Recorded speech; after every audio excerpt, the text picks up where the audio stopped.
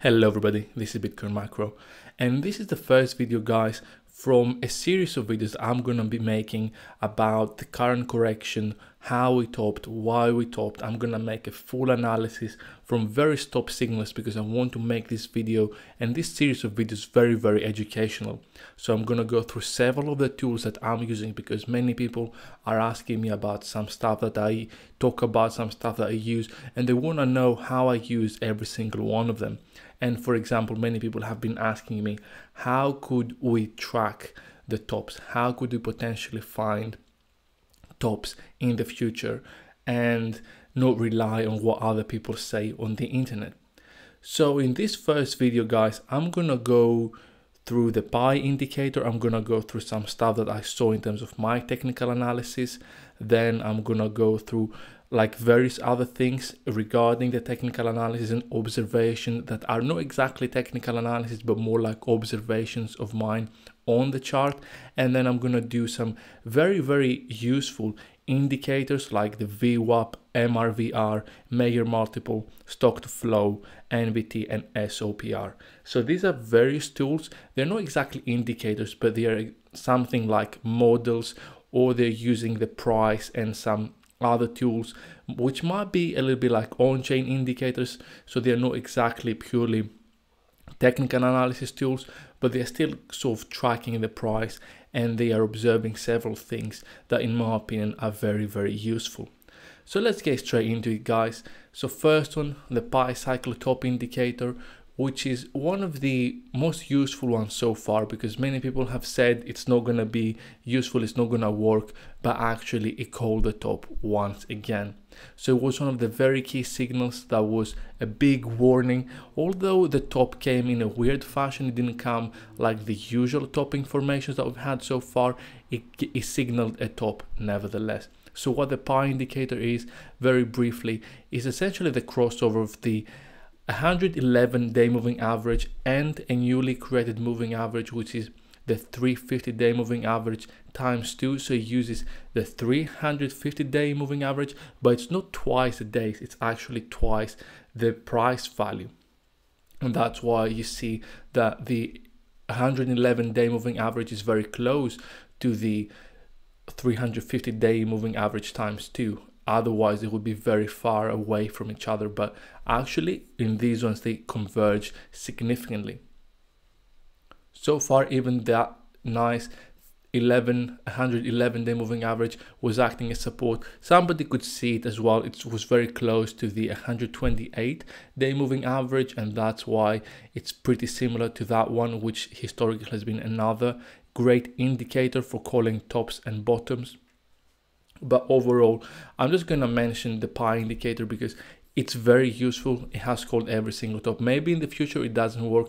Maybe but so far it has done it with incredible precision. It called both tops back in 2013 and the cycle top in 2017 now maybe in the bull market in the current bull market this is just another correction and not a proper uh, bear market.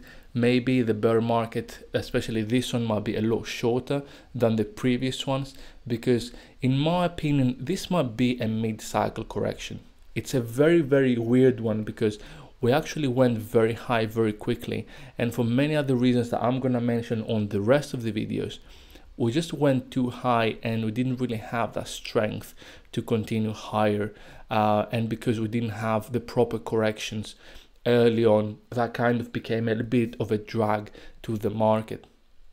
Maybe it's a size, maybe it's other stuff as well. But in my opinion, this doesn't look like a classical uh, cycle top. So maybe it's like the 2013 mid-cycle correction, so the first stop. But nevertheless, that one was very, very important because it was about 8, 80% Maybe this one is a little smaller, maybe it goes down to 70%, maybe we retest the all-time highs back at 20,000, who knows. I'm gonna talk about these in the future videos because on the next videos guys i'm going to keep on talking about the correction maybe the next one or two videos depending on how my time goes because i don't want to make them too long and then in the other videos, I'm going to talk about how to spot some bottoms, uh, where we could bottom, uh, what to look next, and so on. So, so far we've seen that this has been working and then the next one guys will be RSI. I'm just going to go through my technical analysis tools. I'm not going to bore you guys with just very theoretical stuff. But the key thing with this uh, indicator has been the fact that if the indicator starts going down while the price keeps going up, that's what I call divergence. So I assume that most of you guys know about that stuff and the divergence here was very, very clear, especially when the divergence happens at oversold levels, like it happened at 62,000 and 64,000, while the RSI was about 75 and 70. Then once the RSI started turning, once it got oversold, we didn't really get a proper reaction like we would have expected. And that was the first sign that maybe things aren't going so well. Because if the indicator here hadn't really bottomed and the price hadn't really bottomed, potentially we would have seen the indicator come all the way back down or we would have seen the price make a new low. But in this situation back in 2020 at 10K, we didn't really get a second low while the indicator started going higher. While in this situation, we were coming off a very, very overbought condition. So the indicator was overbought for a really long time. Then once it started touching those conditions, the overbought condition, it started dropping, which is not a great sign because usually the what we care about in the bull market is the oversold condition to lead to a new high after the market becomes over oversold in a bull market, that's usually when we know that there's going to be continuation to the upside and it's the best opportunity to buy the dip, especially if the market hasn't been oversold for a really long time, which is about seven months in this situation, seven to eight months, okay? And currently we have another dip, we're making a lower low, uh, the structure has really changed. This is the major key thing that to watch right now because in a bull market we don't really want to be seeing new lows. Of course, what I'm looking at right now is the BLX chart because this is going to be the best one for me to show you some things guys without being affected by the price or the current price action. But the other thing is that usually if the price doesn't seem to be bouncing while it's oversold, usually is indicating for a crash. Usually when the price is oversold, we want it to have a quick bounce. We don't want to, we don't want it to keep drifting onto support. That's a very, very important thing to note. And now this is on the daily chart, of course. If we look at the three day chart, the situation is even worse because what we know about the RSI is that usually the key selling signal usually starts when the market goes from overbought and drops below the 70 level. Maybe sometimes the first time it doesn't really work that well, but eventually, once it has a clean break, that's usually a selling signal. Once we have that nice breakdown, because again, here we had a series of higher highs, many, many higher highs actually, four consecutive higher highs and four consecutive higher, uh, excuse me, lower highs on RSI, which is a very, very bad sign. So potentially until the market go, gets oversold on the three day, maybe the market could keep dropping lower. And especially if the price, if the RSI goes below 50, that's another bearish signal because that means the momentum is currently pointing down and we don't want to see that in a bull market. And finally, if I look at the weekly chart, this is a very bad sign because if we look and compare the RSI with the previous tops, we go so oversold, or excuse me, overbought, that we, especially, we essentially go as oversold as we were in the 2017 top. That was how overbought we got. We were even more overbought than we were in June 2019 and way more overbought than most of the previous highs. And it was very close actually to the one of 2013 as well. Now, maybe the price has to get oversold, maybe, but usually so far, at least in the previous bull markets, the price would stop, or at least the RSI would stop around 55. This time around, it has broken 55, which is definitely not a good sign, especially if we look at BTC USD on other charts on the actual spot chart because right now it has dropped below 70 so what we need to see is a very strong correction especially bounce very, very quickly. That's a big, big thing. Then the next one, guys, I'm just going to zoom in a little bit and go into some other um, moving averages. So I'm going to use the 50 day moving average and the 200 day moving average, which are my favorite ones, at least for giving examples. And I'm going to show you guys something about the 300 day moving average on other videos. But my expectation was at least that we could potentially touch the 200 day moving average at some point. And I'm going to talk about the Mayer multiple and why the 200 day moving average can be seen like when the price goes way too high, way much above the 200 day moving average is usually a topping signal. But the main thing that I would like to focus is on the 50 day moving average because here we touch the the 50 day moving average twice and we touched it perfectly and we bounced straight after we touched it. And that's not a good sign guys. Why? Because that usually means that a lot of traders that just follow simple strategies were able to make money. They didn't get stopped out. So we kind of gathered a lot of weak hands during this uptrend which is another topic i'm going to talk very very soon. Because the more weak hands we get on the bull market that we don't shake out eventually that comes crashing down because the correction at least the market can't really handle so many people that are ready to sell at any point so what happened here was we were trending higher. Like with the RSI, there was divergence. We started slowing down. We have the first breakdown. Then we have another breakdown and we start seeing the moving average turn down. So rather than going up, the moving average started turning around, it started pointing down, which is a very, very big shift in the direction and it's not a bullish sign, especially after such a big move up. Now, the 200 day moving average is not as useful in this situation, but what happened was once we started breaking below it, it was just another thing that added fuel to the fire, and that's why there was a big capitulation because at least most people, in my opinion, myself included to an extent, we were expecting a bounce on this area, and this is what I'm talking about right now because we were looking at the support combo that was right here. So this is essentially a support combo where we have the broken resistance where we had a very big pump and usually the market tends to come back down to those areas the market usually comes back down to retest a breakout to just see essentially if there are enough strong bars there are enough strong hands. And it's a very very healthy sign. But whenever that doesn't happen that's a bit of a problem. Because that means once again the market hasn't really tested the weak and the strong hands.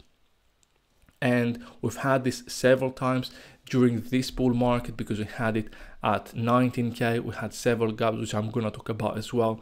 We also had it here as well. We didn't test 25k we also had that weird double bottom which wasn't perfect. It essentially was a combination of the elon pump and the wall street bet situation because in my opinion the price could have come down to these levels right here but then essentially that gave it a very very big boost and the price went much higher than it would have originally uh, gone. At least that's my opinion that's my interpretation. Maybe it wouldn't have gone down much but potentially could have come down to 27k and slowly went up again in a more healthy fashion rather than do this very very sharp increase and then we had more speculation with MicroStrategy buying billions again. So essentially, the market got very frothy very quickly because everyone kind of front run the market and the cycle, and that's why, in my opinion, I've had this very large correction. Now, another important thing to notice, guys, is that when you have these flash crashes like this one and this one, that's not a healthy sign. Excuse me, this one when you have the flash crash from 60k all the way down to 51k or even less at some exchanges and then you have the next one from 55k all the way down to 46k that is a, that is a sign that something is wrong in the market, that there are too many sellers, there are not that many buyers, and there are too many sellers in the market. That the more the price goes down, the more they are forced to sell. More and more people are capitulating, and there is no strength. So you can also see that this was forming a downtrend rather than an uptrend. So we also have, like I said before, we have the 50 day moving average. So nothing was really going well. But the other thing that I would notice on this chart right here is the same way we had those sharp moves down, we also had some really interesting moves up, which were always coming towards uh, near the places where the highs were. So, for example, one was around 58k and the other one was around 61k. So, you had those interesting pumps in these situations where they quickly reversed. So they usually these are usually artificial pumps. Maybe some of them happened over the weekend, some others didn't happen over the weekends. But overall, the problem with these things right here is that the market essentially traps all the people that went long because they thought that was going to be a proper breakout and the market was going to continue higher. And the more you get those breakouts while the market is diverging, the scarier that is. And here we can see this massive wedge, it broke. That's not a good sign. Maybe some other people uh, would would look at it this way, for example. So the breakout, uh, the breakdown had come a little earlier. I apologize about this because I had the log chart. So we had this right there.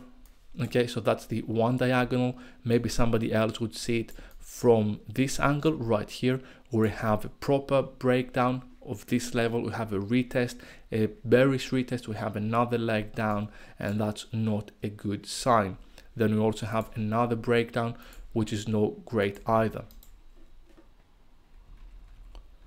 So finally, in terms of VTA that I wanted to mention guys, at least on this chart before I move on to CME, it comes down to this resistance. It broke once that didn't hold the support then the price came back to that level. Usually the price likes to come back to key breakdown levels and retest them before going lower. So that was a healthy action but it was a healthy action in a bear market. So essentially what could have happened with this level right here it happened in a more bearish way all the way up here. Now we didn't really have a proper retest of this area right here so maybe maybe the market does pull back but up until then we have seen a lot of key areas get broken.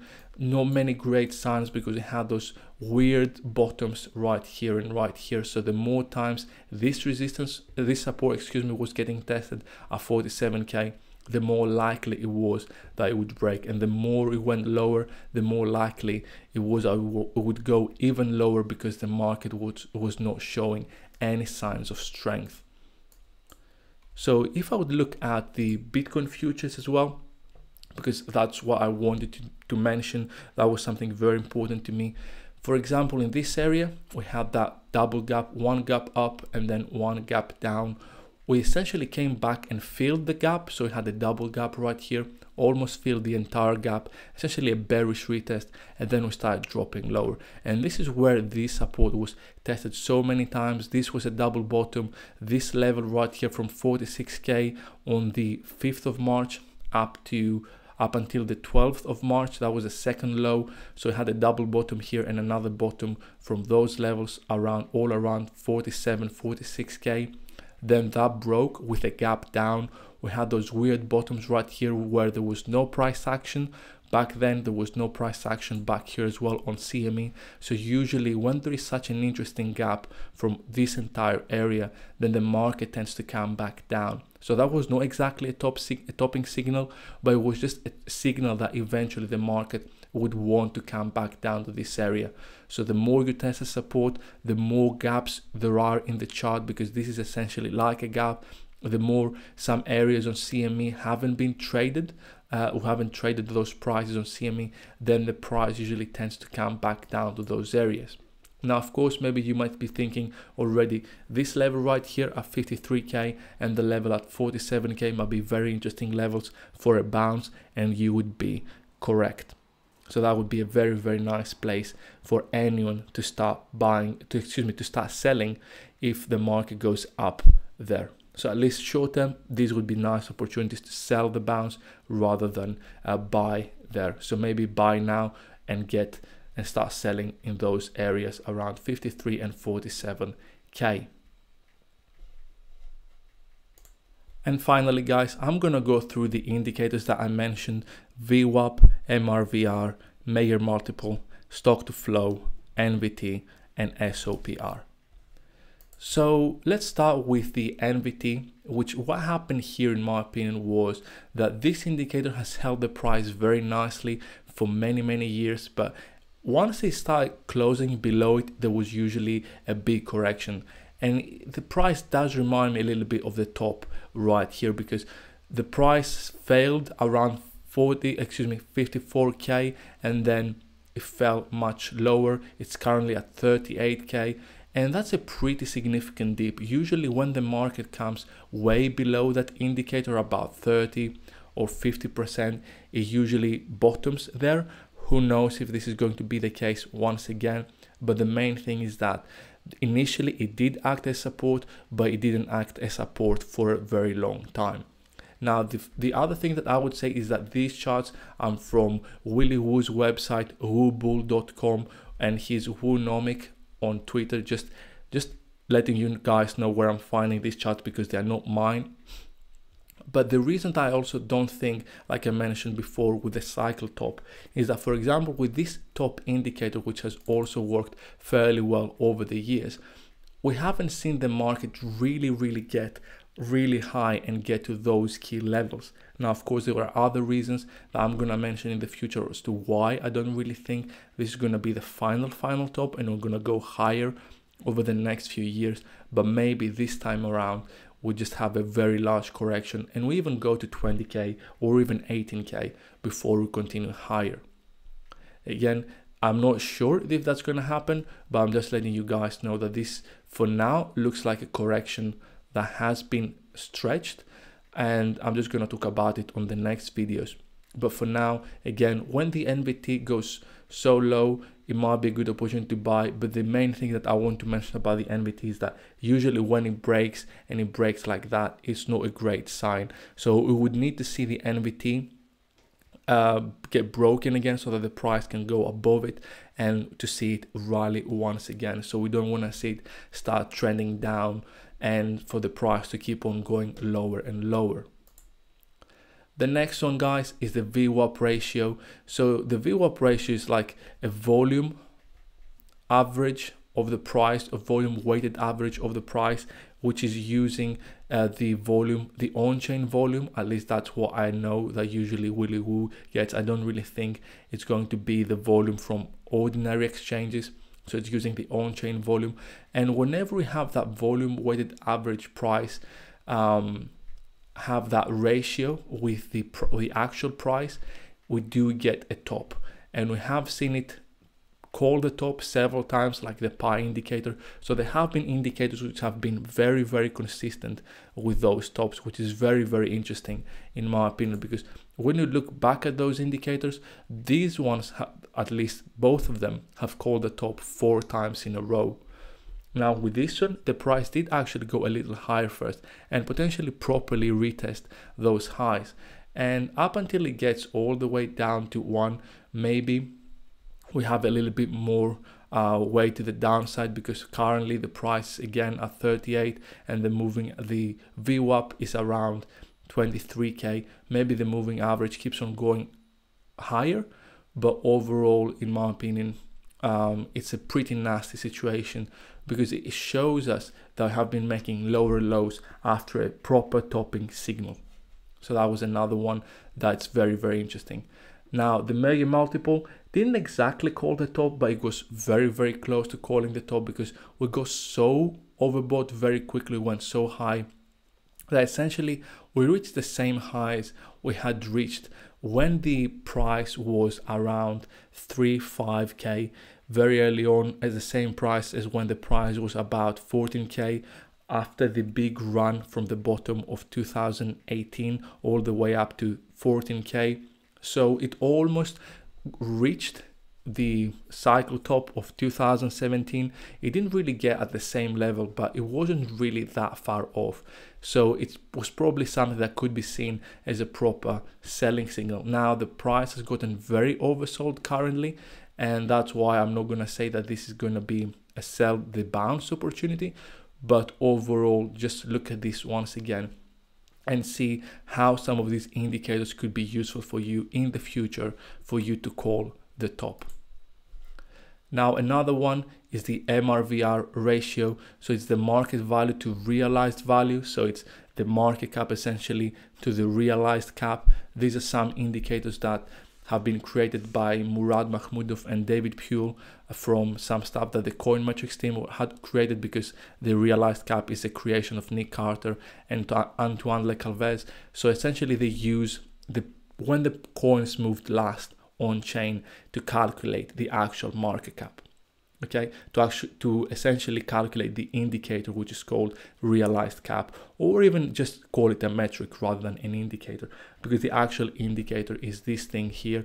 So whenever the ratio between the realized cap goes really high compared to the actual price then we usually have a top. And this time around it also got so high that was pretty much the same level as the 2017 top. Maybe it was a little closer to what was the top at 2017 early on in June at 3k However, currently we have seen a much steeper correction because back then the correction was only 40%, whereas this time around we have dropped more than 40% and the market doesn't look as healthy. So maybe that was another great call. Not perfect, but when you combine those indicators together, you can see that many of them had been showing very, very similar things for quite some time. Now there are some other ones on here the MRVR Z score, which also uh, called the top, or the MV VWAP, which is essentially the ratio of the VWAP and the market value, uh, the realized value essentially. So when we have that ratio, we can also see that once again it was calling the top very, very nicely. And finally, guys, the last thing that I would mention is SOPR because this one the main call that it made was it has been dropping for quite some time. And usually whenever we touch this these levels, we want to see a bounce. Historically, whenever we touch this in a bull market, it was a very nice buy the dip opportunity and the dip would come very quickly. If there was another move lower, at least when the SOPR would drop, it would it was not a great sign initially. Maybe that would be indicating that we are very very close to a very massive capitulation. However, for now this hasn't been updated. I don't really know the exact price, but the main thing I want to tell you guys that the more times you touch it with the price bouncing very hard and then going down again, it's that at some point once it starts closing below the one the, the baseline if it starts closing below the one to one ratio essentially then that means that the market is in a bad situation because it starts to turn bearish. Now you might think we've seen this before at some occasions. However, this time around that was a little bit more different because it's it's also happening while the market is going down. So that was essentially a confirmation because the market had started closing around 46, 48k below the baseline and that was a very bearish signal and that's why we also had some extra information on the fact that it was going to be a very brutal drop. So that's it for me guys for this video. It was probably a bit long. The next ones are going to be long as well, but there's so much information that I want to share with you. Tons of stuff.